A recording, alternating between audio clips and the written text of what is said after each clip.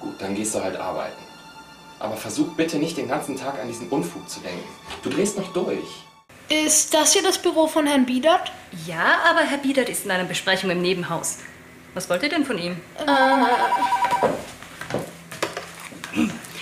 Baubüro Biedert, mein Name ist Martens. Was kann ich für Sie tun?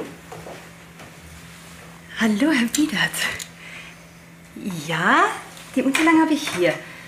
Ja, gut. Ich bringe sie gleich rüber. Tut mir leid, Kinder, aber ich habe zu tun. Vielleicht könnt ihr am Montag wiederkommen. Frau Martens, wir wollen ja gar nicht zu Ihrem Chef. Wir sind hier mit seinem Sohn verabredet. Wir sind nämlich Freunde von Georg. Ach, so ist das.